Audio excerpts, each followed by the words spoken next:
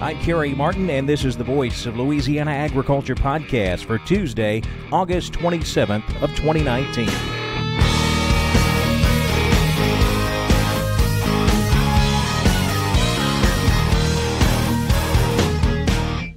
Welcome to the Voice of Louisiana Agriculture podcast, a look at the latest news in Louisiana agriculture. Now, here's the host of the Voice of Louisiana Agriculture podcast, Kerry Martin. The LSU Ag Center's Dean Lee Research Center outside of Alexandria is now the farthest north location for sugarcane planting in the world. We'll talk with LSU Ag Center sugarcane specialist Ken Gravois more about that later in the podcast. But first, here's a look at news headlines. The trade agreement announced over the weekend between the U.S. and Japan should close the tariff gap created when President Trump removed the U.S. from the Trans Pacific Partnership. Details have yet to be announced, but agriculture groups expect the tariff levels to be comparable to those of other nations who continue the TPP negotiations without the United States. U.S. Agriculture Secretary Sonny Perdue says the U.S. Japan trade deal is good for American agriculture. Frankly, it's good for agriculture. We didn't get everything we want, but that's the way trade negotiations do. During a trip to Virginia, Secretary Perdue said that some commodities will fare better than others. Rice, which is not too big here in Virginia, is probably not going to be uh, fare very well. That's unfortunate in Arkansas and Louisiana and those areas, but obviously beef and wheat and uh, other crops such as corn that you mentioned will do very well. President Trump announced the deal at the G7 summit in France. USDA released its latest crop progress and condition report yesterday, showing the nation's soybean crop condition ratings up slightly. USDA meteorologist Brad Rippey. Inching upward for the week ending August 25th, now 55% good to excellent, 13% very poor to poor. A week ago, those numbers were 53% and 14%, respectively. Rippey also took a look at the latest rice crop progress numbers. The rice crop finally almost all headed out, 96% one point behind the five year average, two points behind last year. And harvest is now getting underway in the Delta states to go along with the Western Gulf Coast region. Nationally, 15% of the rice harvested by August 25th, five year average 18%, last year 19%. Looking at the Louisiana crop progress and condition report, it shows that soybean harvest now getting underway, but we are behind the five year average pace. The report shows soybean harvest now 5% complete. The average pace for this time of year is 15%. Sugarcane planting moving forward as well. We're 24% done planting cane. That is behind the five year average of 34%. As far as the Louisiana cotton crop is concerned, we have 1% opening bolls, 59% setting bolls, 93% of the cotton crop is squaring. Condition ratings for soybeans, we're looking at 9% excellent, 44% good, 39% fair, and 8% poor to very poor. Cotton conditions 11% excellent, 57% good, 29% fair, and 3% poor to very poor. And sugarcane ratings stack up like this 6% excellent, 53% good, 32% fair, and 9% rated poor to very poor. Weeds have been a big problem in Louisiana crop fields this year. They aren't going away, but there are some effective tools available for farmers.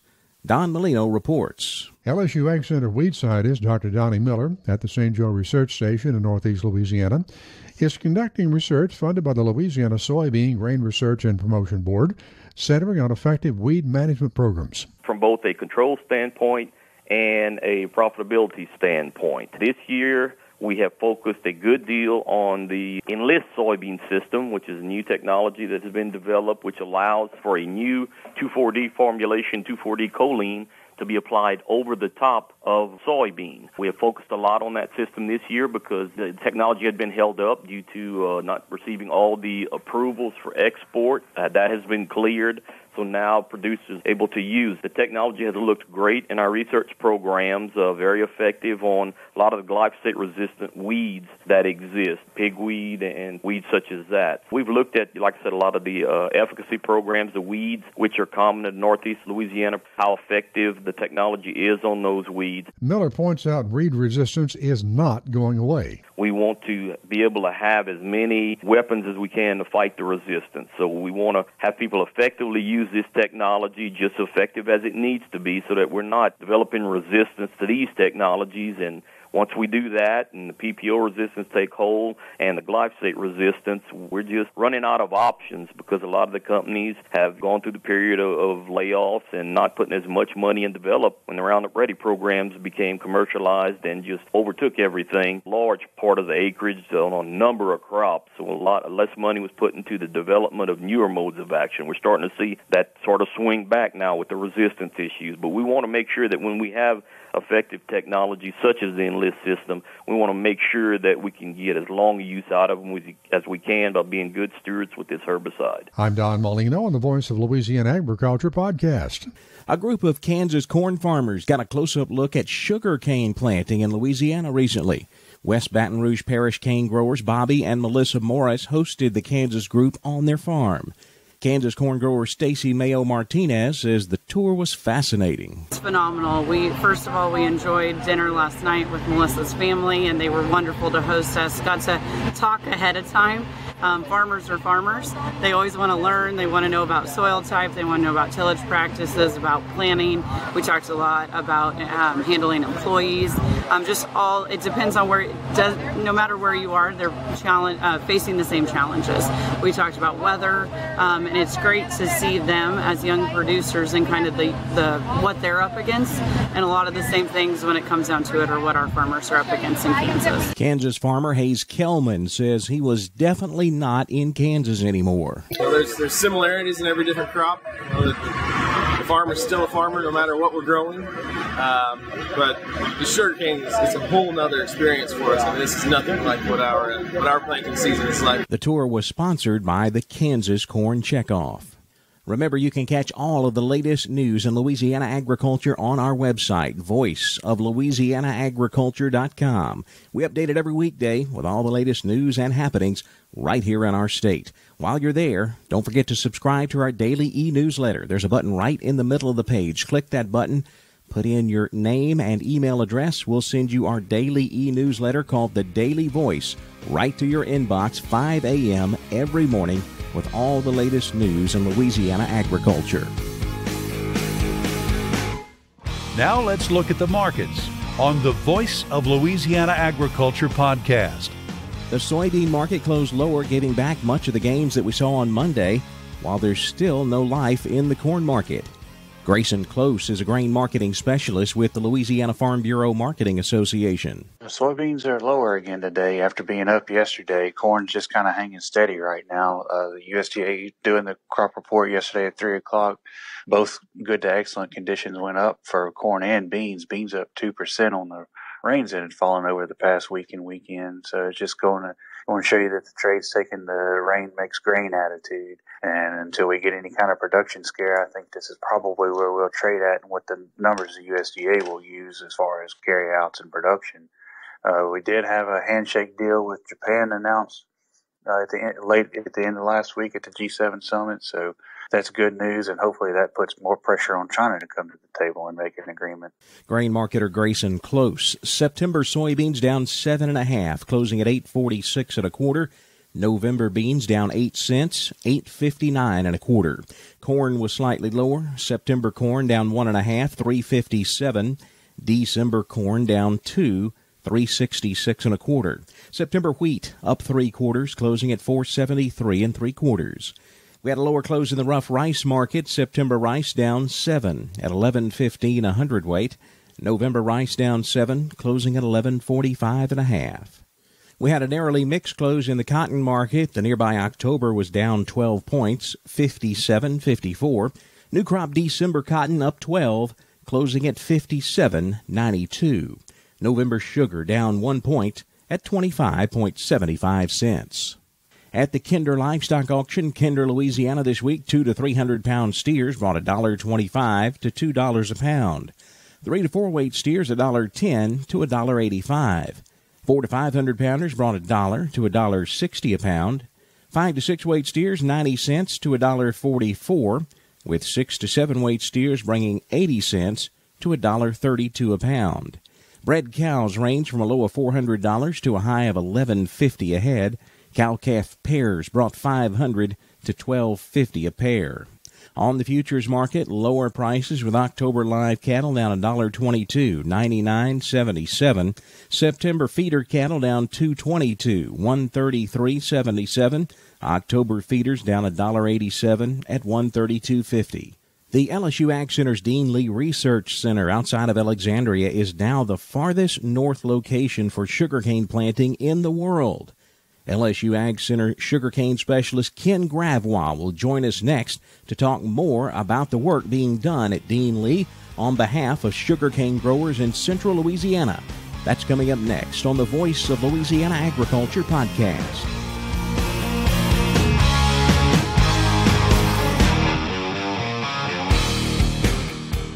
As the old saying goes, close only counts in horseshoes.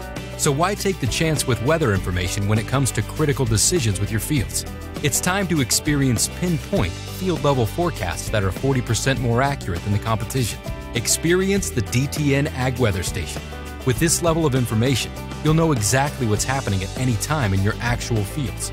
This allows you to plant, spray, and harvest with a new degree of precision. Head to DTN.com today to learn more.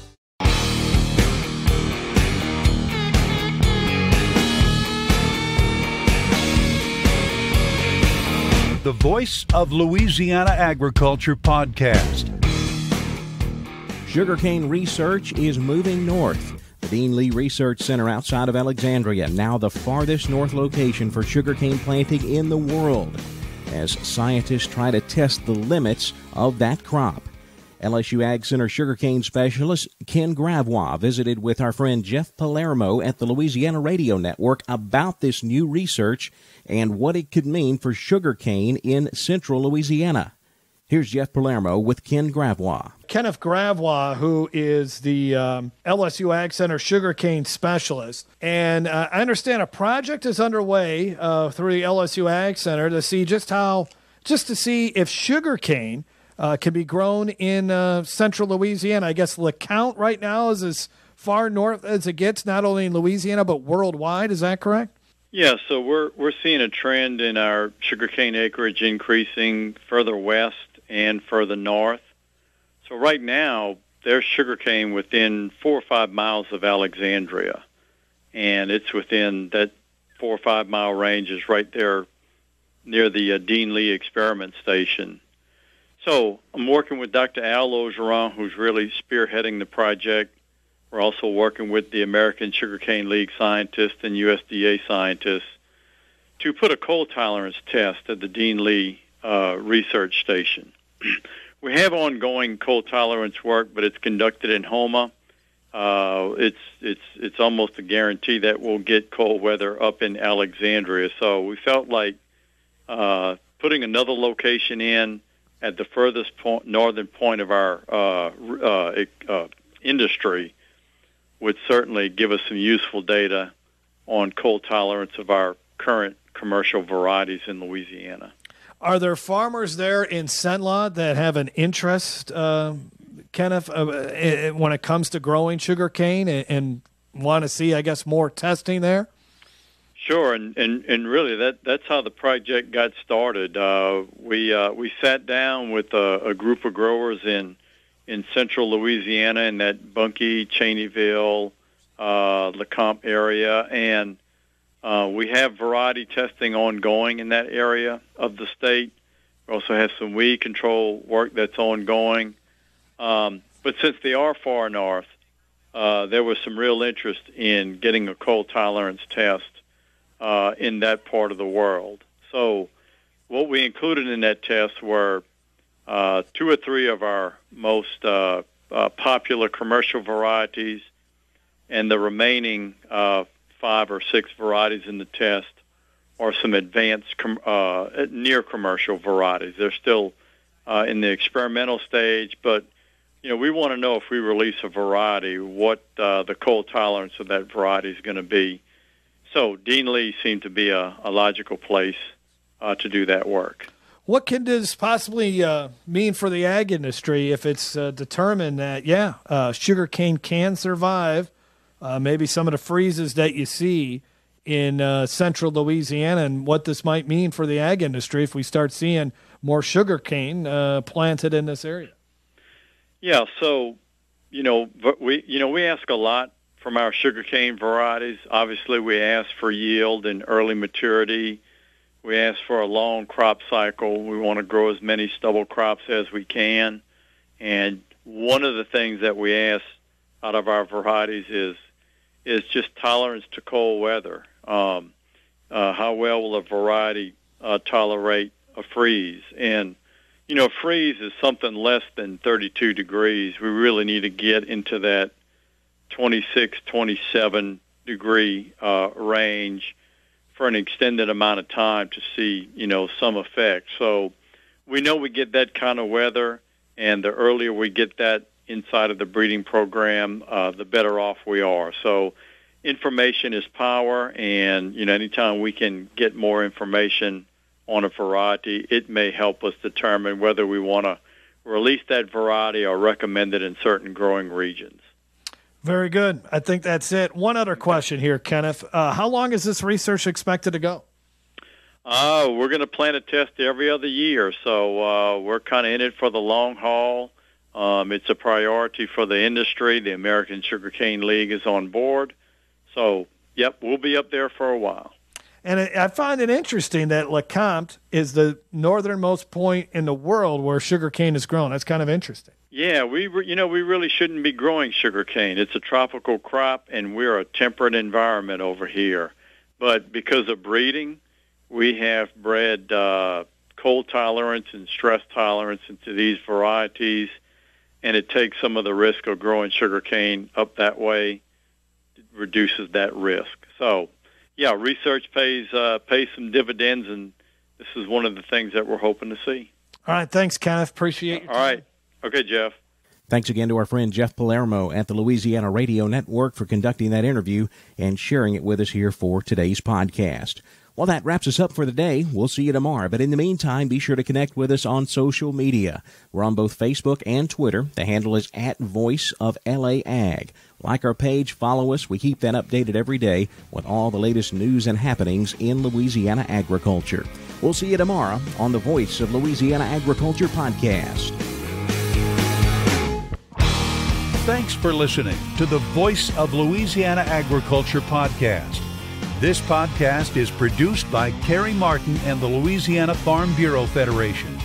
For more information, be sure to check out our website voiceoflouisianaagriculture.org and lafarmbureau.org.